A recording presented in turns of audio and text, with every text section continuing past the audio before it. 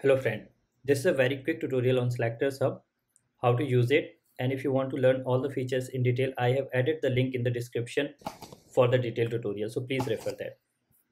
First of all, what is Selectors Hub? Selectors Hub is a free browser plugin which can help you to learn all about XPath selectors, generate, auto-generate XPath, relative XPath, etc. It supports all kinds of web element like Shadow DOM, iframe, etc. And this is very helpful, a huge time saver. It is available for all the browsers.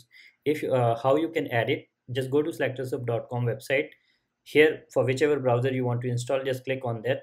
Suppose we want to install on Chrome, click on Chrome here it will open that like add to chrome browser button here. Click on this and add extension.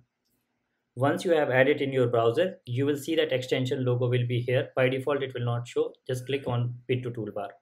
Don't try extension on the blank tab as well as on the browser store here. Always open a website. So here you can open a website. Let's say this is the practice page. You can try this guys if you haven't tried this practice page now where you can see the actual SelectorsHub tab where you, see all the generated XPath selectors, right click on any element, click on inspect and on the right side generally like when you will open DevTools it will be on the left side you will see the elements tab. On the right side there are two arrows. You will not find SelectorsHub uh, like this. So just click on these two, two arrows. SelectorsHub will be the last tab click on this and this is how you can see. Or you can just expand it to see that get a proper view here you can just register like this is a one-time registration. Here it is required.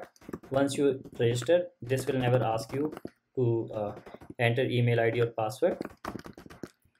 Just click on register and this is how you can see that this is how SelectorsHub opened. Here you can see all the auto generated selectors all possible selectors here.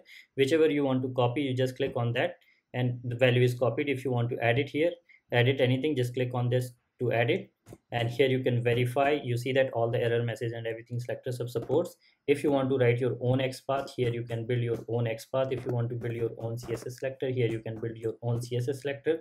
Everything is possible here. If you will be making any mistake this will help you that what is wrong in your xpath what is wrong in your css selector. So that helps. This is a smart editor so it will help a lot.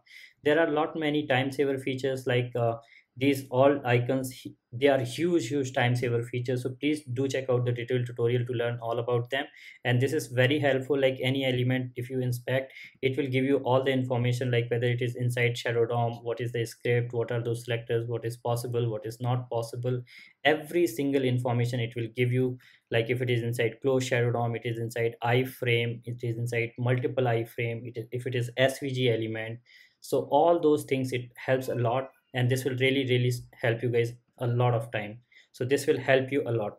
So these you just keep inspecting the element and it, will keep giving you all the information. Another great feature it has that you need not to if you don't want to open SelectorsHub you just right click and here from the context menu you can copy the value of selectors. So they are really it has a really incredible features which can save a tremendous amount of time. Please watch the detailed tutorial. This uh, link is given in the description and with that thank you. Thank you so much. I hope you like this video and you like the selectors hub please let others know. Please subscribe to the channel if you haven't subscribed yet. Thank you so much. Like share and subscribe. Thank you